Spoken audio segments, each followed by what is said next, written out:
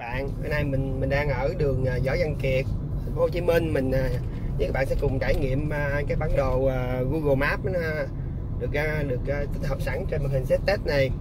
Hiện tại thì đoạn đường này cho chạy 80 m trên giờ. Và mình đang chạy là nó sẽ báo là 40 50 m trên giờ. Thì nó sẽ có những cái thông báo như đây là cái ngã rẽ nè ví dụ như cái đoạn à, hai hai đường hai cái lane ở giữa thì mình mình sẽ được à, chạy thẳng còn mình muốn rẽ thì sẽ à, đi vào lane ở bên trong đó để mình à, lên cho camera lên một chút xíu thì các bạn sẽ thấy vậy nha đó.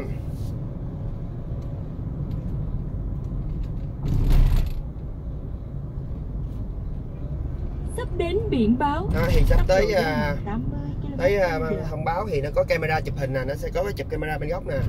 Các bạn sẽ thấy thì camera nó sẽ có cái bảng biển hiệu là camera tuyến đường quan sát camera nè, đó, bạn thấy không? Đó, thì sắp tới camera nó sẽ còn à, nó sẽ à, hiển thị thông báo bên đây. Đây, mình sẽ quay camera cho bạn thấy đây, nó là, đó, điểm đường quan sát bằng camera, bạn thấy không? Đó, thì ở đây nó sẽ có thông báo là có cái chụp hình nè, chụp hình tốc độ nè 80 m trên giờ nè. Đó vậy nếu mình muốn rẽ thì mình à, đi mình mình, nếu mình rẽ à, mình rẻ rẽ trái thì mình sẽ vô lên bên trong. Còn ba lên này sẽ là đi thẳng hết luôn.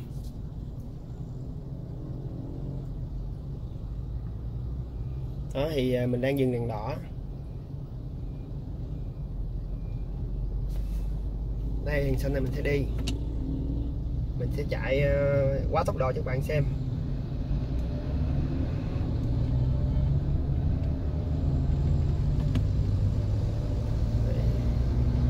đó giờ đây là sắp tới camera chụp hình nè đó, đó rồi rồi để nói camera nó sẽ chụp từ sở đích mình lên nha các bạn đó. bây giờ mình sẽ à, tiếp tục đường à, Võ Văn Kiệt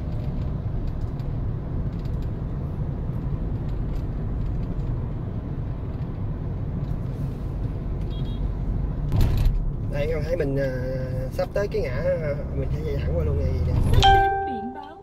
Tốc độ giới hạn Đó. 80 km h sắp tới biển giảm tốc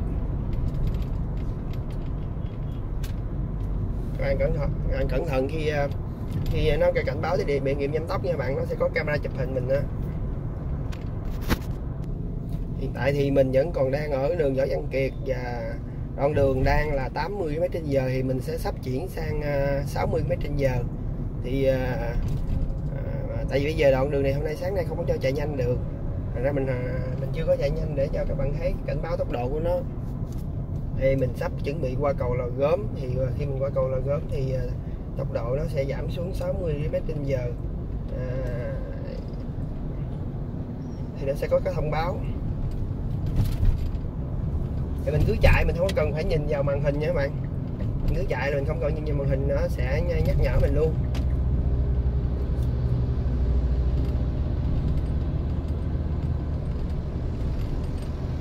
Đây mình đang trên cầu lò gốm đường Võ Văn Kiệt. Phía trước là biển báo giảm tốc của mình rồi đang chuyển lên. Sắp đến biển báo. nó sẽ báo là sắp đến biển báo. 60 km. Và nó sẽ giới hạn xuống 60 m trên giờ nha các bạn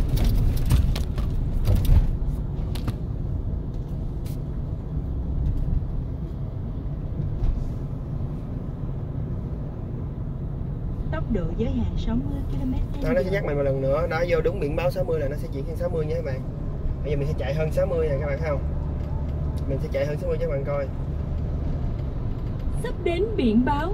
Tốc độ giới hạn 60 km h. Vui lòng quan sát giới hạn tốc độ và Đó. lái xe cẩn thận. mình chạy vừa quá là nó sẽ kêu lên nha các bạn mình sẽ hạ xuống dưới 59 lại đó, rồi mình chạy hơn 60 thì nó sẽ cảnh báo mình nha các bạn. Rồi nãy nó cảnh báo rồi. Rồi cảm ơn các bạn đã theo dõi clip của mình. Nếu thấy, thấy hay thì nhớ chia sẻ của mình nha. Cảm ơn các bạn